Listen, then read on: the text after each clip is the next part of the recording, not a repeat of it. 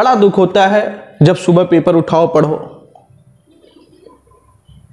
कि एक अबला के साथ, एक नारी के साथ अमानवीय घटनाएँ हो जाती। उस दिन पूरी मानवता शर्मसार हो जाती है। इसका प्रमुख कारण है शिक्षा। इसका प्रमुख कारण है शिक्षाविद। केवल जो शिक्षाएँ हैं, हमारी आप लोगों से जो बच्चे देख रहे हैं, जो आने वाले समय में एक बेहतर कपल बनेंगे, या जो भी देख रहे हैं, जो हैं, उनसे हमारा विनम्र निवेदन है कि आप अपने बच्चों में मानवीय गुणों का संप्रेषण करिए, न कि उनको मानव रहने दीजिए, मशीन मत बनाइए। निरंतर गिरावट मशीनीकरण के कारण इस आधुनिकता के कारण। मैं आधुनिकता का विरोधी नहीं हूँ। मैं नहीं कहता कि मैं आधुनिकता का विरोधी हूँ। लेकिन आधुनिकता के नाम पे फुहड़ता अश्लीलता, अगर इसको आधुनिक कहते हैं, इसको आधुनिकता कही जाती है तो मैं प्राचीन होना पसंद करूँगा। आधुनिकता का अर्थ होना चाहिए सही मामले में, पारदर्शिता, विचारों में।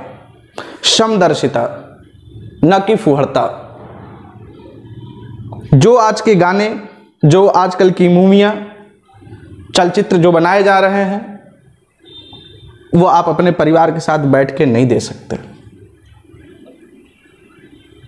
तो बहुत ही खराब स्थिति चली जा रही है, क्योंकि शिक्षा को केवल पैसा धनोत्पार्जन के लिए पढ़ा जा रहा है। इससे ज़्यादा मनन चिंतन के लिए नहीं किया जा रहा है। इससे हमारे समाज में लगातार गिरावट देखने को मिल रही है। एक बहुत बड़ी आबादी आप देखेंगे, जो महिला है हमारे भारत में, उसको लेके अभी एक राजनीतिक पुरोधा हमारे पड़ोसी राज्य के चीफ मिनिस्टर द्वारा एक शर्मनाक, अभद्र टिप्पणी की गई महिलाओं को लेकर जहाँ पे आप देखेंगे कि मुख्यमंत्री के द्वारा, विधायक दल के नेता के द्वारा, बहुमत दल के नेता के द्वारा आज जनसंख्या वृद्धि का कारण महिलाओं को बताया गया, महिलाओं को अशिक्षा को बताया गया।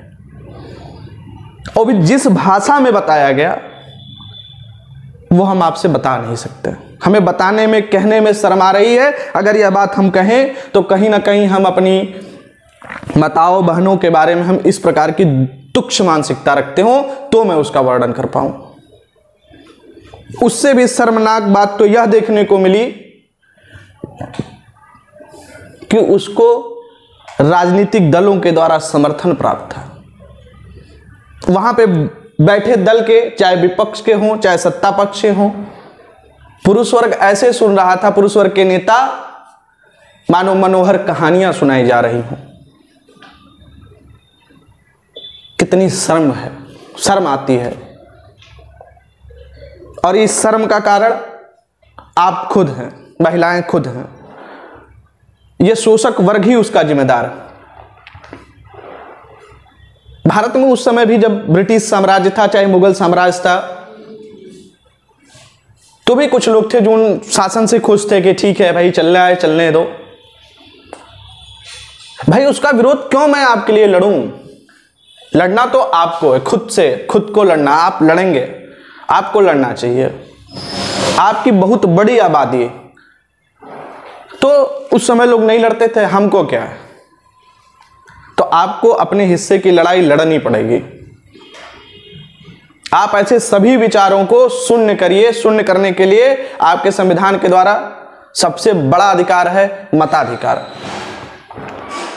जब भी आप किसी विचार को मत देके अपने संसद में या अपना प्रतिनिधित्व करने के लिए अपने विधानमंडल में भेजती हैं तो ऐसे दूषित, ऐसे ग्रसित, ऐसे कुंठित मानसिकता को बढ़ावा न दीजिए।